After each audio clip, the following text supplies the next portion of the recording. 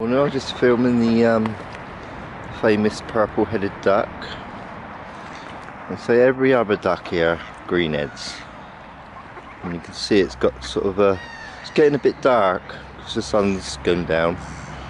And you see the other mallard duck compared to this one. Well look, they're chasing each other. That one's got a blue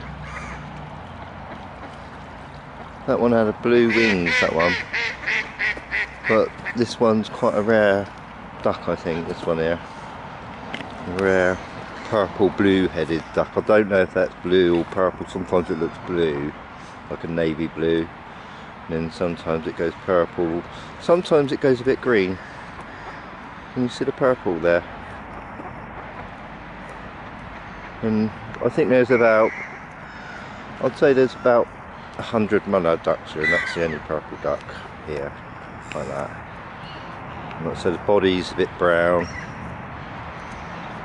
I don't know let's have a look at the eyes. Got no bread left now. I think that's the only purple duck in the world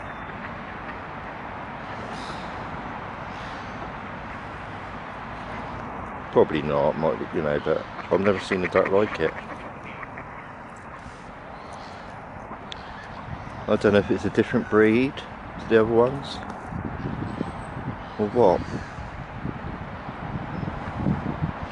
I mean, the females here, look at these, they're all green heads, these ones.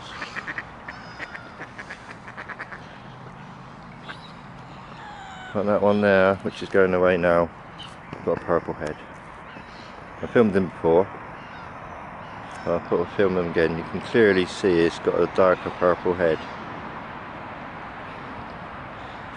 Compared to all the other ducks here.